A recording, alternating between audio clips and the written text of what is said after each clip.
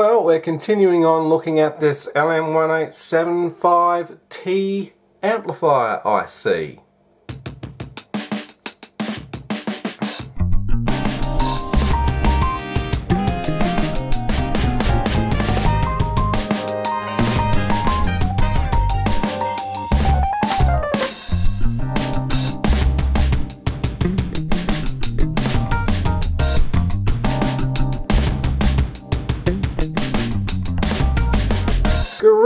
Astro 30 here, and yes, as I just previously stated, we're going to have another look at this LM1875T amplifier IC module, whatever you want to call it. Um, in the last video on this, we looked at the datasheet implementation of using this IC. Today, we're going to look at making up a circuit board, a proper printed circuit board for it um, using a slightly different implementation. It still works out to be the same implementation but with a difference. Now I don't know if you guys can see this properly or not. I'm hoping you can. So what I might do is I might zoom in a little bit on the left hand side of the page here. So this is the area of interest over here. We've got our audio signal here, um, both the hot and the ground. Now You'll notice that none of the grounding points that you would expect to go to ground, like this uh, end of this capacitor here should be going to ground, the end of this resistor should be going to ground, and the end of this capacitor should also be going to ground. Well, they do, but via this 10 ohm resistor. What this is called is a ground lift resistor.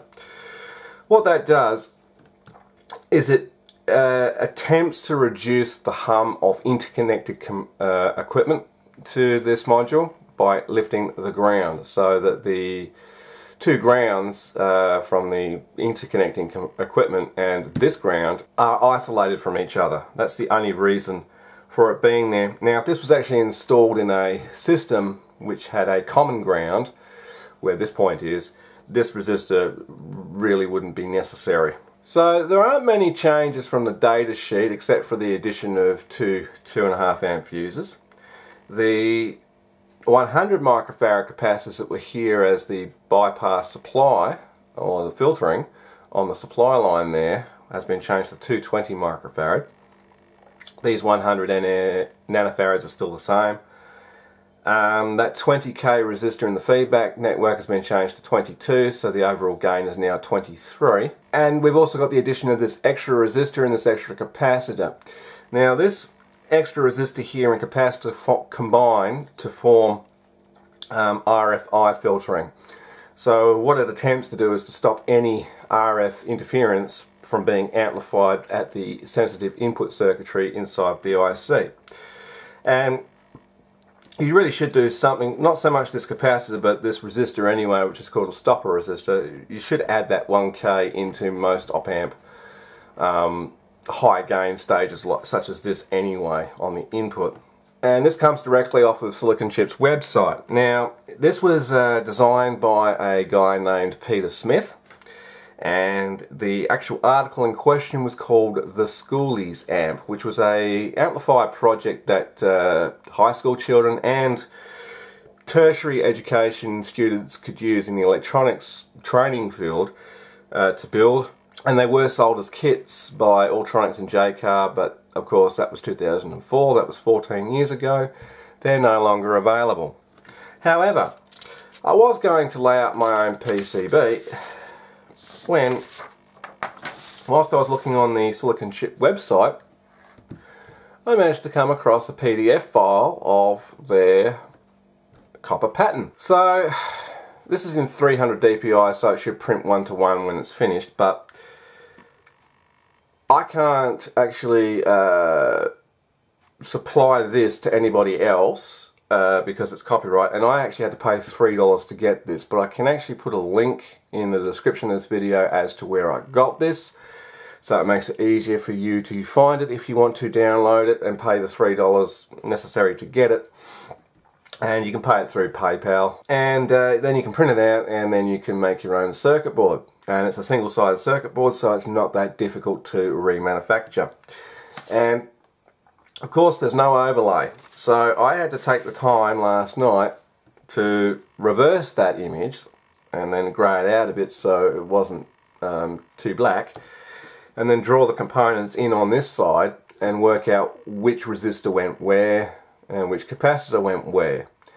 And well I think I did a pretty good job. I mean as messy as it looks yes it's hand drawn but uh, eventually I um, will probably do it up properly in my CAD software um, just to make it look a little bit more clearer.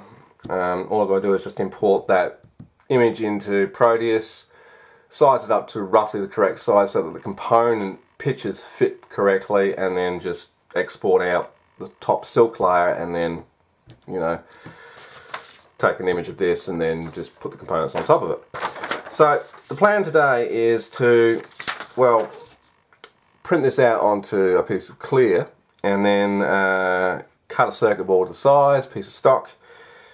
Um, obviously I'm going to flip this uh, horizontally so that the toner side is facing the bed of the light table and the non-toner side is facing the circuit board. Um, expose the pattern and uh, yeah, drill, cut, protect, um, and assemble this project and see if it operates well, a little bit better than the breadboard version, which it should because this is actually the correct way to lay out an amplifier. This is the ground or earth point of the amplifier. As you can see it's in a central point and they all go back to a central point. There, there and there. So that's the plan, so I've got to get a piece of circuit board cut out. I'm not going to take much video of it, it there's no point. Um, so I'm going to spend the next two hours doing that and we'll come back when I've actually got some form of result here. Sexy! That's uh, turned out quite nice. So that uh, developed and transferred properly. Um, so now the next stage would be to etch it. I believe it's fully developed so I don't need to do too much more developing to that. So now I can uh, move on to the next stage. Alright, now I usually use about three heaped teaspoons of ammonium persulfate because, well, it seems to be about the most reactive. And I use about, well for a board that size, about 500 milliliters of water. I put about a litre in the kettle, so I use around about half it for now and uh, drop the board in it. And then we begin the etching process by agitating this. And it probably would be a good idea for me to purchase a bubble tank for etching because it'll be a lot easier than doing this. Anyway moving on. And there's the completely etched PCB there. Turned out pretty good. Took about half an hour maybe uh, I'm not actually sure how long it took, probably about, yeah, I'd say half an hour.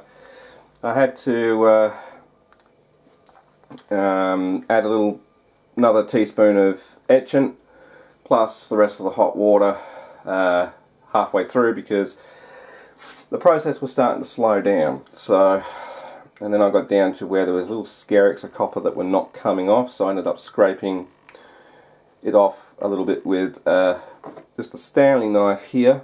To take any coating and resist that might have been sitting on top of it so it would etch it completely off. Because there's nothing worse than having a line going across say the supply line and the output of the IC that would be bad.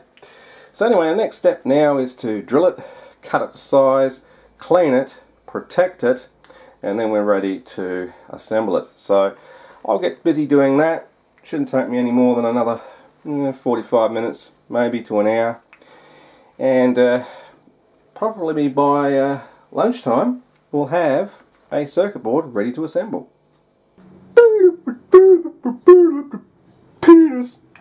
Um, there it is all drilled, cut to size, cleaned and got a clear coat of protective lacquer on it. I'm just waiting for that to dry so I can assemble it so it's going to take about another 15 20 minutes or so and it's only just gone a little after half past 11 so it only took me about an hour to do all that Actually, no, it would have been only about half an hour, didn't wouldn't it? Because I said before I started this piece that it was about 11 o'clock or something. I think I did anyway, I don't remember. Um, anyway, all the holes drilled up to the correct sizes. Now it's just a, a waiting game. Uh, so we'll check back when that's uh, dry. So there she is all uh, complete. Um, I need to let it dry a little bit longer. It's not quite dry yet. I've even left the silicon chip logo on it plus their board code. Why? Because, well, it's their intellectual property. I'm not advocating that I'm going to take something off of a website and then claim it as my own. That's plagiarism for a start. And secondly, credit where credit is due. It was designed by Silicon Chip and therefore I'm leaving it as it was designed. I'm not going to add anything else to it. Jaycar and Altronics add their own codes and stuff to the uh, pattern, but I'm not. I'm going to leave it as it was in the magazine. And that's basically where this came from anyway, was the magazine art. So I'm going to need to let that dry a little bit longer. So what I might do is I might break for lunch and uh, for about half an hour. It's uh, midday now, so yeah, by about half past 12 I reckon we'll get into uh, assembling this. And uh, once the assembly is done, we'll move on to the next step, which is mounting it to a heatsink. Now I've got this uh, HH8570, it's a 105 long by 55 high heatsink which is going to be adequate enough for this small little LM1875T chip. A little bit bigger would have been probably a little bit better but yeah anyway so I've got all the parts laid off on the desk here. I've even got some low ESR 220 microfarad 35 volt capacitors. Um, don't have to use low ESR but I'm going to because well they were convenient and they're in the voltage range that I need. I could have stuck 65 volt ones in there, really makes not much difference. So everything's laid out ready to go, M25, M205 fuse clips. I've got some 2.5 amp fast blow fuses here, 10 of them and all the other miscellaneous parts ready to go onto said circuit board. So as I said, I'm going to break for lunch now and um, we'll come back when I'm ready to assemble. Okay, and we're back from lunch. I just had a pie and a Coke. Uh, only been about 25 minutes anyway. I'm going to assemble this. I'm probably going to do it in time lapse because some people like that stuff. I've got the uh, door over here to next to me open because it's a nice, lovely, warm day. It's 23 degrees at the moment. I'm still suffering from a uh, cold or a flu or something. And got a fan going in the background there to circulate the air around the room. So, without further ado, let's get started.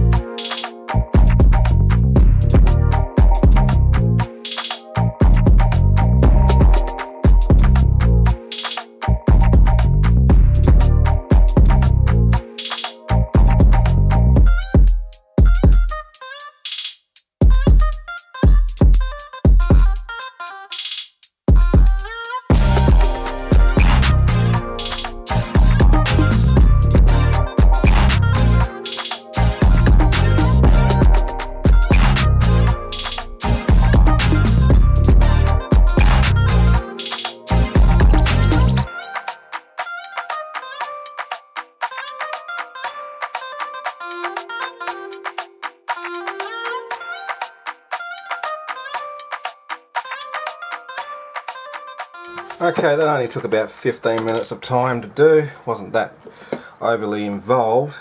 I'm just making sure that there's nothing shorting together that shouldn't be. Now I can pop a couple of fuses in. Um, these are fast blow fuses by the way.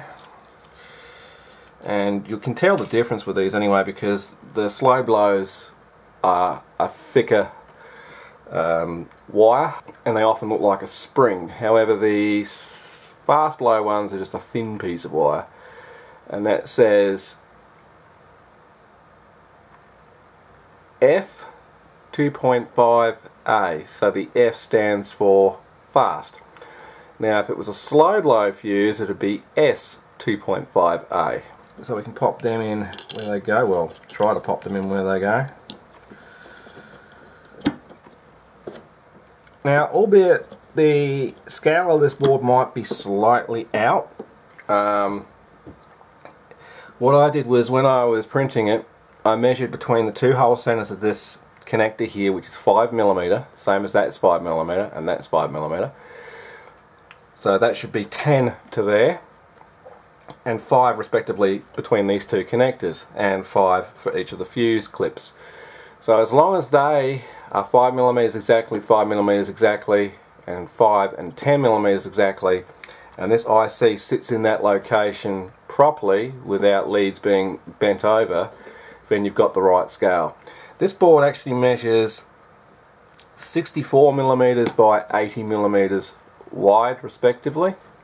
So the next step I'm going to do to do is I'm going to play with my penis no, I've done that already this morning. Um, so I'm going to put some standoffs on this.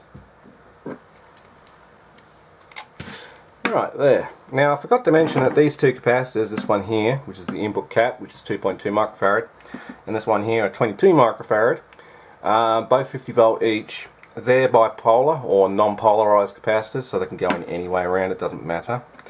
So now that that is um, got the standoff screwed onto it, I can now think about measuring from the desk, the edge, the surface of the desk here, to the whole center of that IC so that when I go to drill this, I can get it almost practically right first time. So that lines up pretty good. Doesn't appear to be any unusual gaps. The um, seal washer that's going to go in between here and the heatsink's going to take up the gap anyway. So, okay, so that's going to be the next step is uh, measuring that. Welcome back to the floor. So, well that's in inches, that's no good to me. So I might uh, rotate that around that way. Come around the other side of the uh, tripod.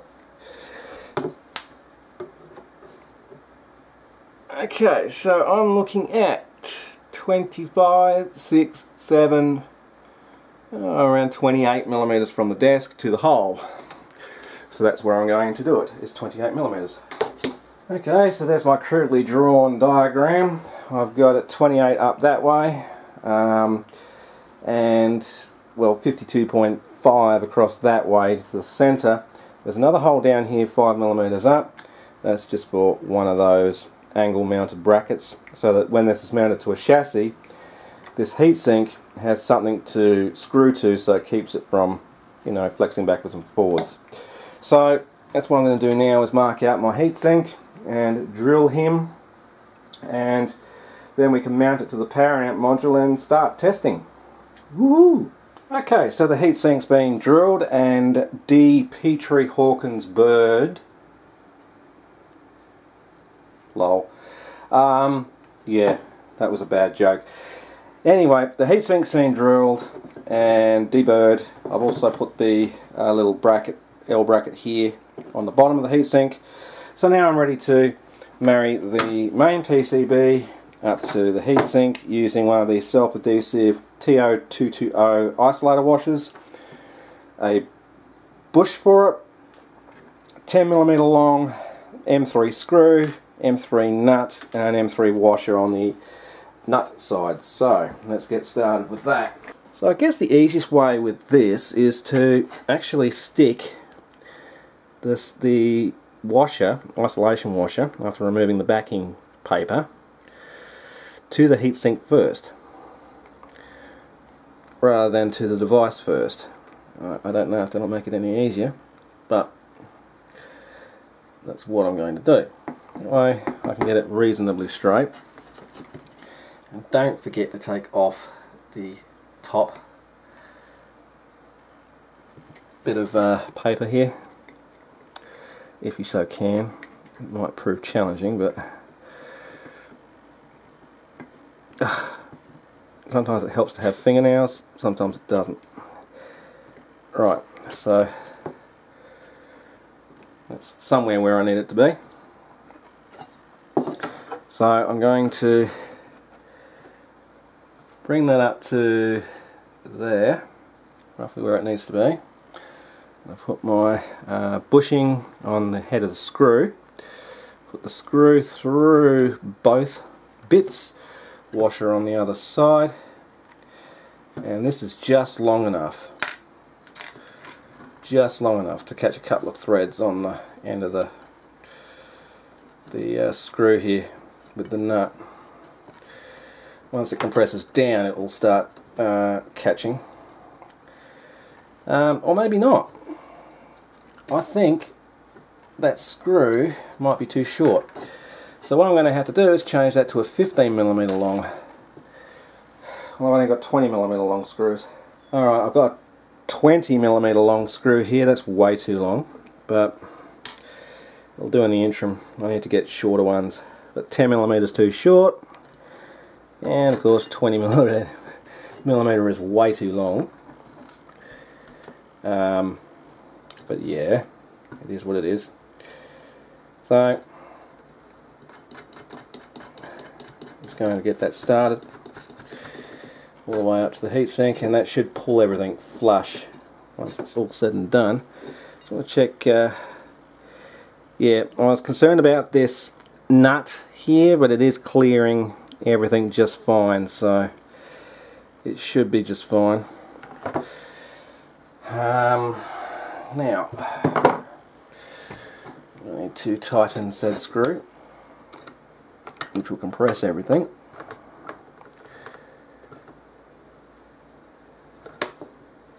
that should be as tight as you need to go no tighter than that. And yes at the moment the heatsink flops around. That's why I said to put a bracket on it. But once it's mounted in the chassis it should not be a big problem. It's just that that nut on the bottom there might be an issue. It may not. My suggestion would be to use a nylon one there instead. So that's the uh, IC mounted to the heatsink and isolated. So the next test would be to check that it is actually isolated.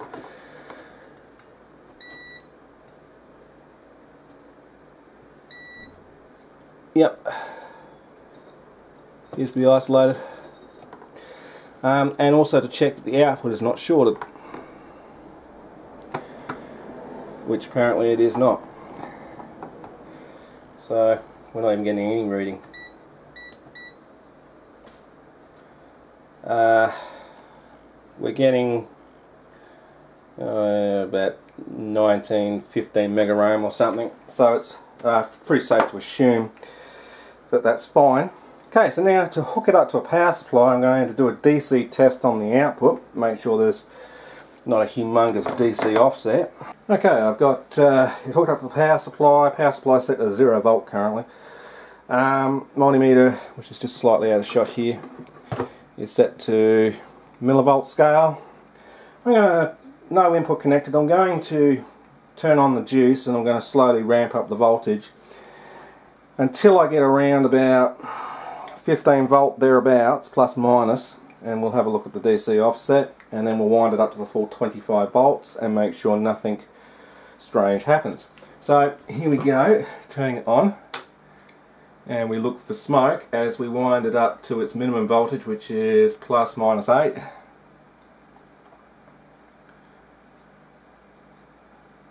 There the amplifier just turned on so the minimum it'll operate as at 4.8 plus minus nothing seems to be doing anything strange. We're now at 10 volt plus minus and we've got uh, minus 0.15 millivolt DC offset, not bad.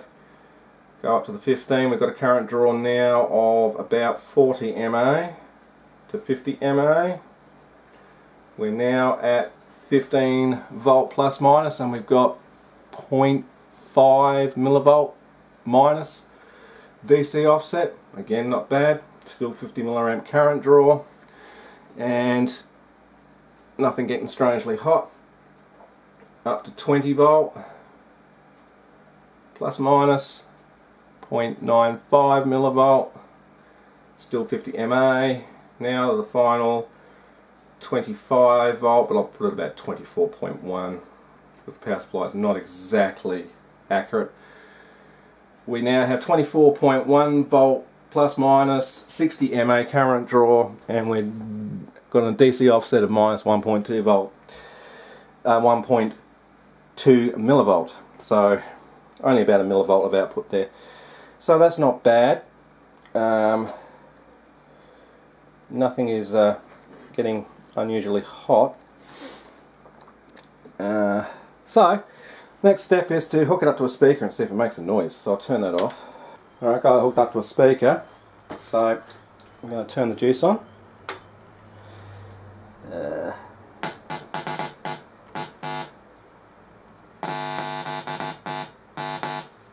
yeah, well it seems to be amplifying a signal and picking up a bit of noise.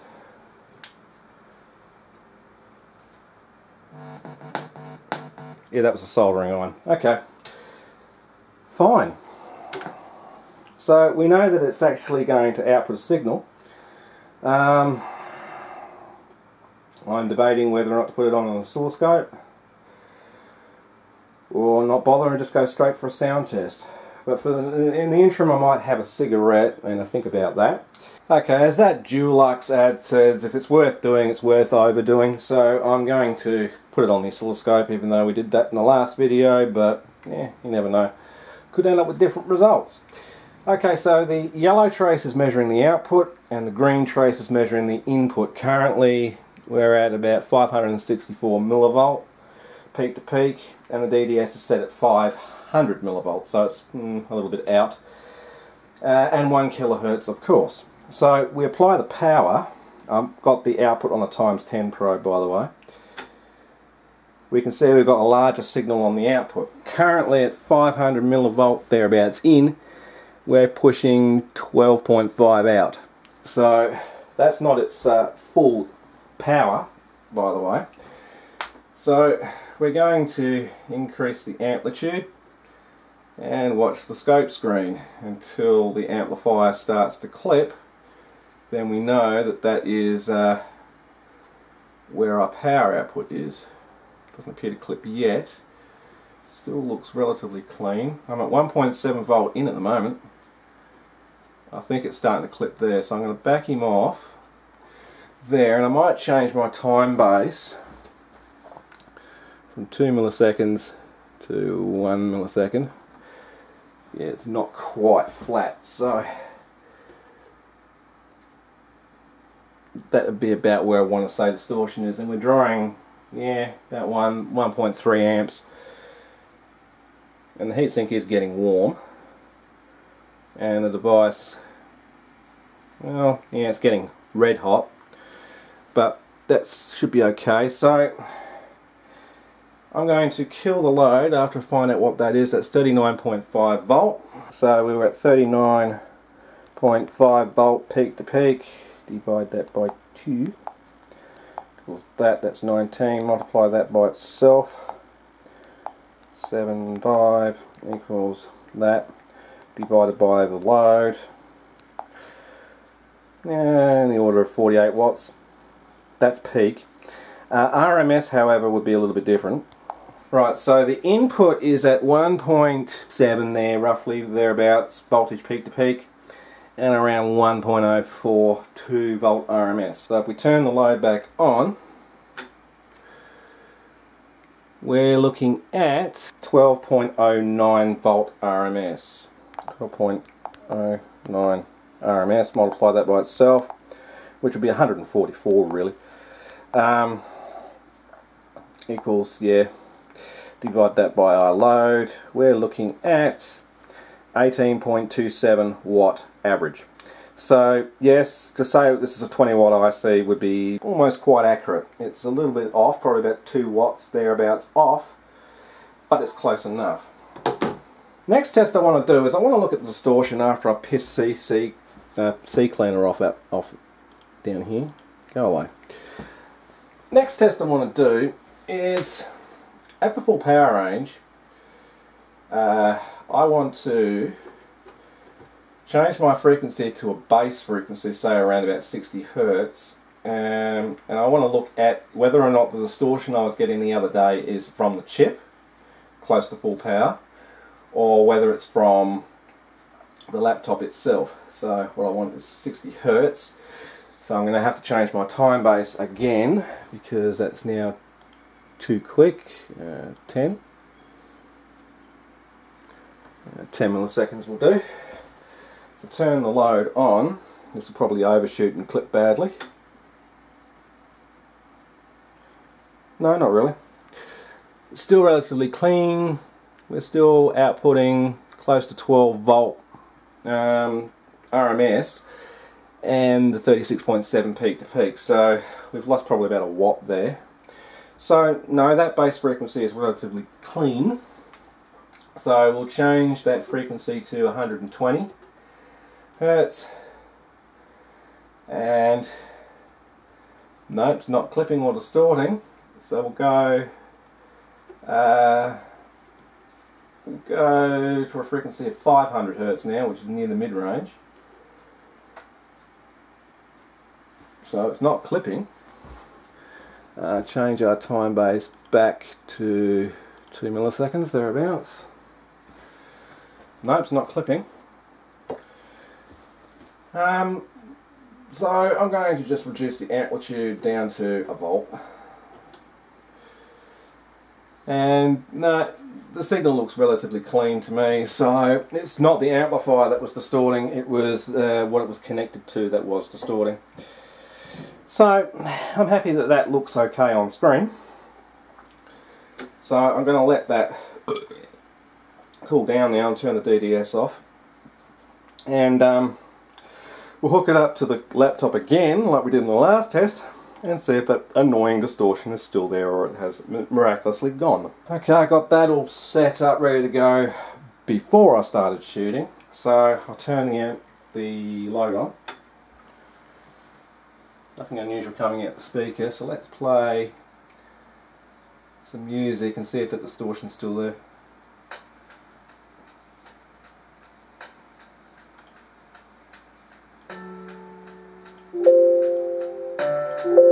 No.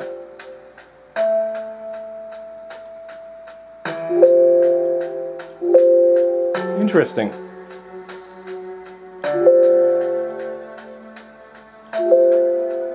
Can't hear that.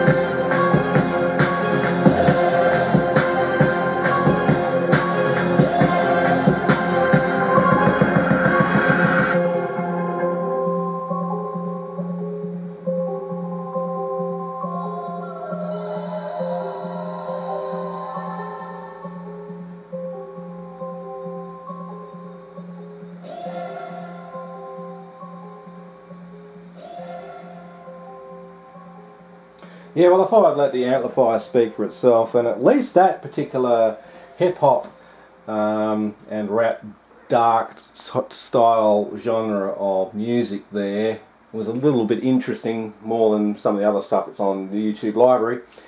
That's called Black Magic by Nana Kwabena. So yeah, you can check that out on the audio library. It's there on YouTube. Uh, .com slash audio library slash music. So yeah, but I thought that was actually quite an interesting track. Um, heatsink is mildly warm.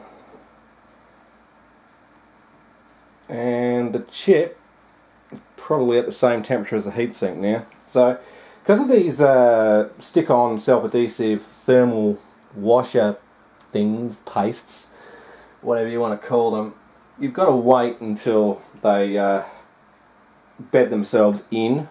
The heat will make them expand, of course. So it might be a good idea after running it for a while just to make sure that screw's still tight. Uh, because you can see that the thermal compound here has started to fold over on itself. That's because it's got hot It's probably not the best um, thermal transfer stuff in the world. I mean that probably could, I might turn the load off first. Um, you probably could you know use just normal washers that don't require grease, the greaseless ones. Or you could use the mica ones with some thermal compound in there. Um, I'm in two minds as to which is which which one's better. But that's the um, LM1875T Schoolies amplifier as presented by Silicon Chip in 2004. I think it was around about September or November, I can't remember offhand. A project by Peter Smith. It uh, works and it works reasonably well. And the reason I'm probably not getting any uh, distortion from the laptop now is because of that, probably most likely because of that 10 ohm ground lift resistor there uh, as, I, as I said before, um, having a ground list, lift resistor there reduces the amount of hum pickup by the main amplifier from the interconnecting equipment and it can also reduce um, distortion at the input because the, the two grounds are fighting each other. If it was going through a preamp it probably wouldn't be a problem and as I said if the, the preamp's uh, zero volt rail was common to the zero volt rail of the power amp, well, that ground lift resistor will be effectively shorted out when it's in service anyway. But that doesn't make any difference to it. But as it stands, that ground lift resistor also separates the zero volt rail reference of the op amp IC and the input from the output because the output goes directly to the zero volt ground reference and the input goes to this 10 ohm ground lifted reference. So you're also splitting the power ground from the signal ground. So that's another reason for using that 10 ohm resistor. Anyway, I think I've gone on talking about that long enough.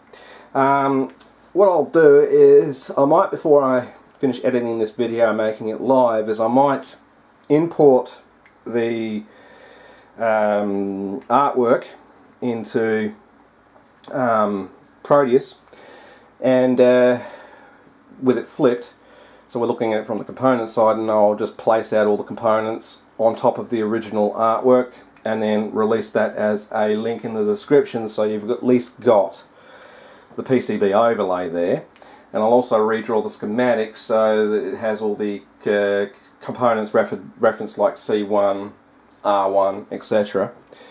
And that way I'm not really releasing copyright material by releasing the original um, JPEG image of the schematic, which belongs to Silicon Chip.